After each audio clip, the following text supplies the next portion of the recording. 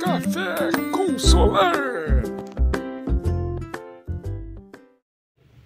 Pessoal, eu estou mostrando para vocês tudo que eu troquei aqui do carburador, tá? Da Pampa.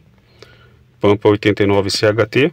Esse carburador foi trocado esse kit, tá? Comprei esse kit porque ele já não tava, eu já tinha limpado ele algumas vezes. Beleza? Vem esse kit aqui.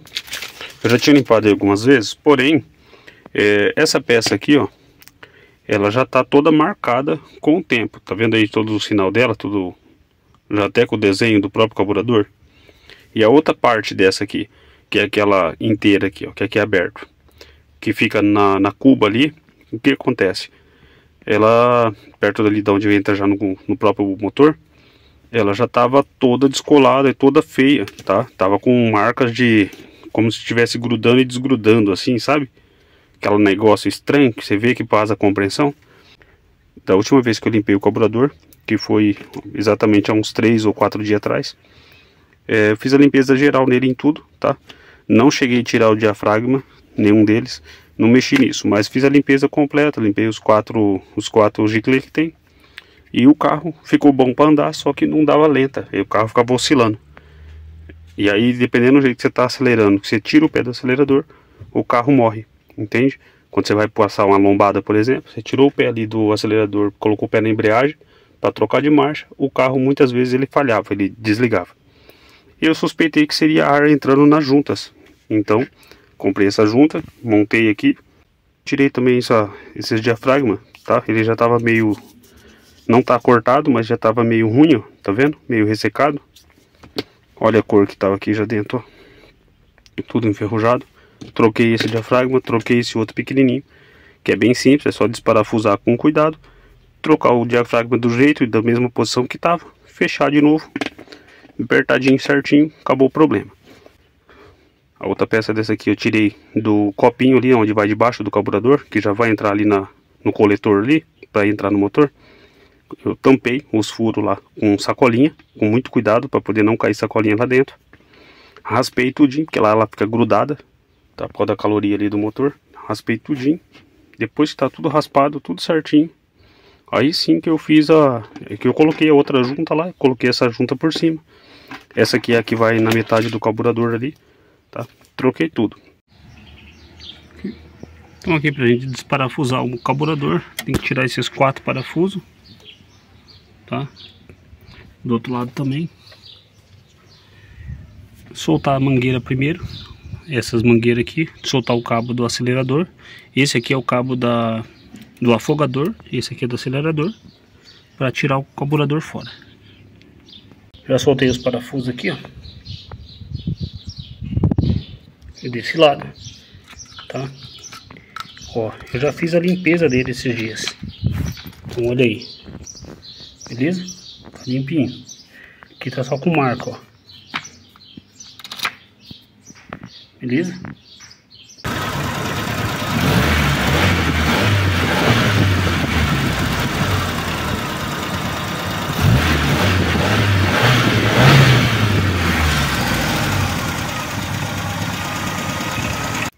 E agora eu vou fazer a primeira partida do dia, tá?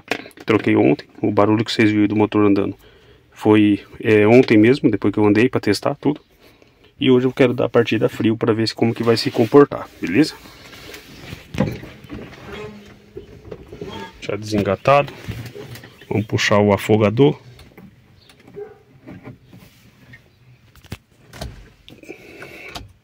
Vou colocar a chave, né? Sem chave não liga.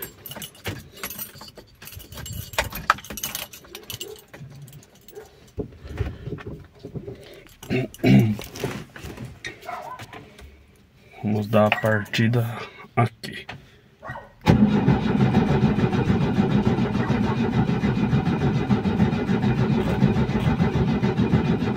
Lembrando que tá meio frio, tá? Só com o afogador puxado, tá? Um detalhe, eu não injetei de propósito, só para mim testar. Eu não injetei gasolina, só puxei o afogador e dei partida. Vou deixar ligado um pouquinho e tirar aqui para ver se ele vai assumir uma lenta, beleza? Aguarde aí. que é o freio de pé. Estou acelerando, o pé tá aqui por costume, mas não está acelerando, tá?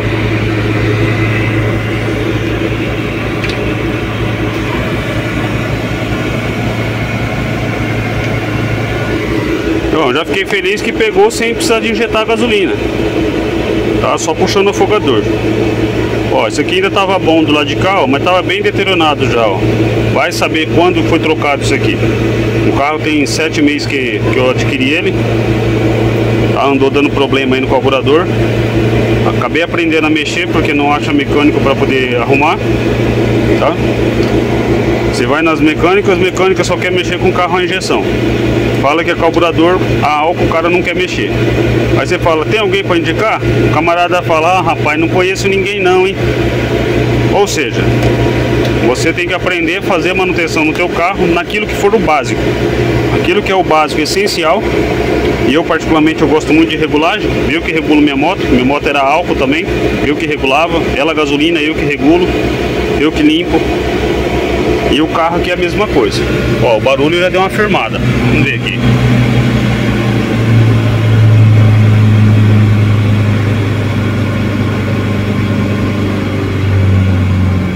Talvez ele vai morrer ainda porque não tá bem quente, né?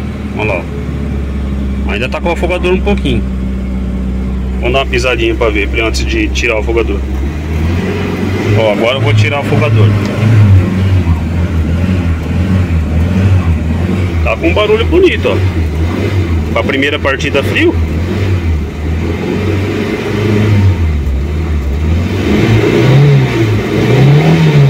O segundo estágio tá abrindo certinho. Bom.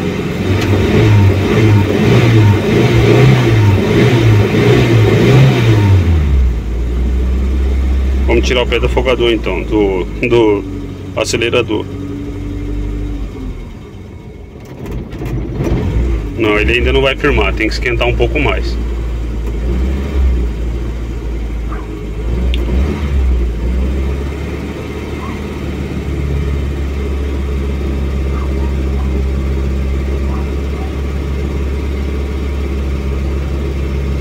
Pra quem acabou de ligar o carro também, né? Não dá pra ligar e já sair assim, né? Talvez até se eu fechasse um pouquinho mais o ar, deixasse entrar um pouquinho mais de combustível talvez ele ficaria um pouco melhor para pegar a lenta logo cedo.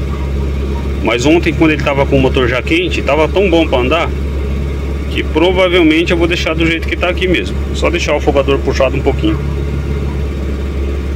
E se eu resolver também fechar o ar, a regulagem é a mesma. Só fechar o ar um pouquinho, ver se o carro não vai morrer. Se o carro morrer, acelera um pouquinho mais ele. Aí fecha o ar um pouquinho até ficar certinho. Todo mecânico eles falam que o ar você tem que ir soltando, você tem que sentir o motor acelerar sozinho. Quando o motor acelerar e ele você continuar soltando devagarzinho, se o motor for perder a aceleração, aí você volta um pouquinho. Esse é o ponto. Só que se você for ver, dependendo do jeito que tiver acelerado ali no no próprio no próprio parafuso do carburador da marcha lenta, se ele tiver mais acelerado, que que acontece? Se ele tiver mais acelerado, o ar vai dar uma regulagem. E se você colocar mais lenta, você vai ter que regular o ar também. Eu estou te falando pelo meu carburador, tá? Talvez no seu não precise. Mas o meu carburador, se tiver com uma lenta um pouquinho maior, um pouquinho mais de lenta, sabe? Ele vai fazer isso daí. Entendeu? Ele começa a oscilar um pouco a, a, a marcha lenta. E como que eu sei? O barulho do carro não fica estável, ele fica acelerando e, e abaixando. Mesmo que é pouquinha coisa, coisa pouca, mas eu escuto isso daí. Agora, quando eu mexo no ar, ele alinha, aí fica alinhadinho. É isso aí, ó. Vamos tirar aqui pra ver. Vou tirando, tirando, tirando, tirando, tô tirando.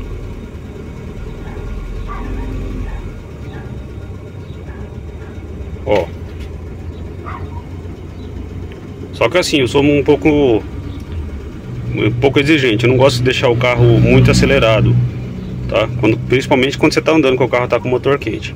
Eu gosto de deixar ele, carrinho velho, mas tem que ser bom, tem que estar tá tudo certinho. Ó, tanto é que, ó, eu tô sem os pés.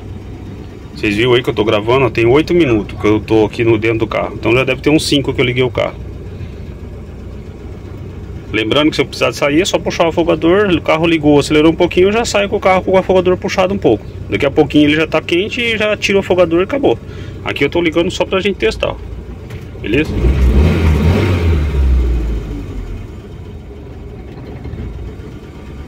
Ó, tô tirando o pé, acelerando para vocês verem que agora ele tá alinhadinho.